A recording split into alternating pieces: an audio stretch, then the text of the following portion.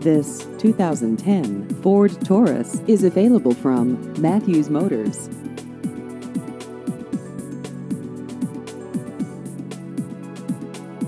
This vehicle has just over 11,000 miles.